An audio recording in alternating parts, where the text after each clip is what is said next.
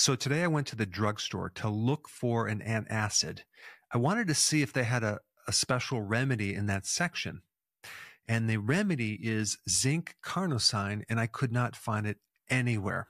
In fact, I couldn't even find it under the vitamins section, which is shocking because zinc carnosine is the cure for ulcers.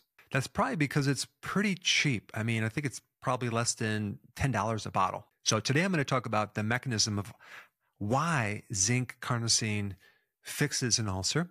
And I have a lot of experience with this because in college, I had severe uh, heartburn and ulcers, and I didn't know what to do. And I was suffering. So what I did is I just took massive amounts of Tums, which is chalk. Three hours later, started to hurt again. And this cycle happened over and over and over. Taking tons of antibiotics or antacids doesn't really heal the problem. So the main treatment for an ulcer is an antibiotic. Why?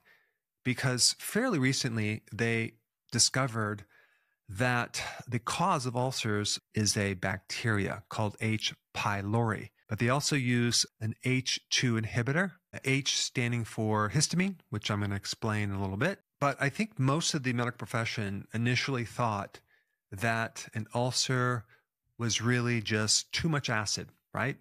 Well, now we know it's a breakdown of the mucus layer around part of your stomach or the small intestine. And now you have this open wound and it can be infected. Let's break down this zinc carnosine.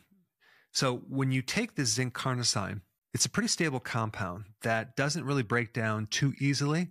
So it, kind of stays in the stomach and it kind of coats the area, but it eventually breaks down into zinc and carnosine. Carnosine then breaks down into L-histidine. It's the amino acid that turns into histamine.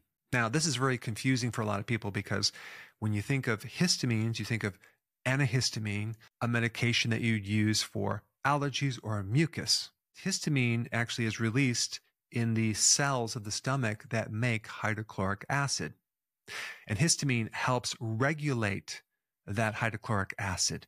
It actually helps increase that hydrochloric acid. So when you take an H2 blocker, you're basically blocking the production of histamine and you're lowering the amount of acid production in the stomach.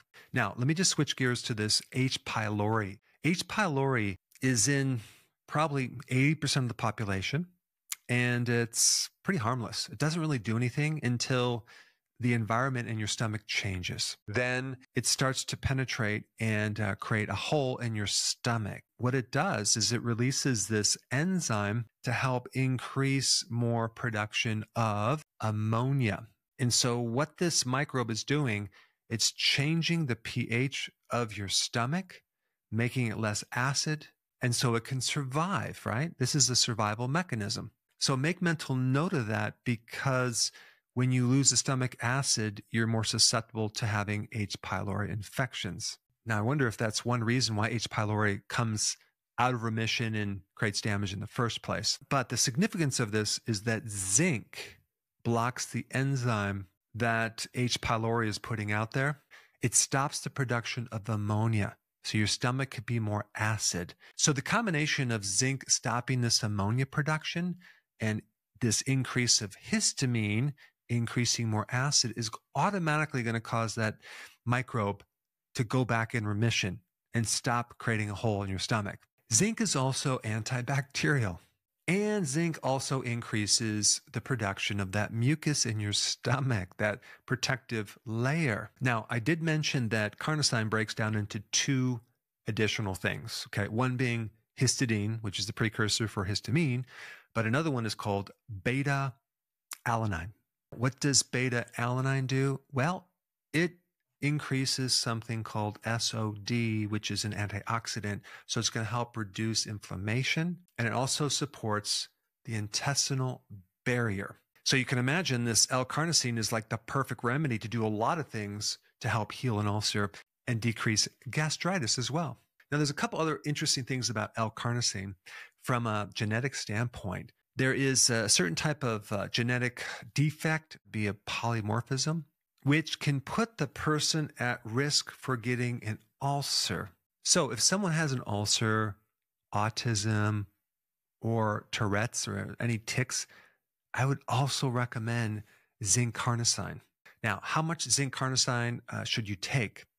Well, I would recommend taking about 150 milligrams per day, broken up into two times a day. So you take 75 milligrams in the morning, 75 milligrams in the evening, and that should be enough. You'd want to take that for about one to three months. However, it doesn't work as fast as the medication.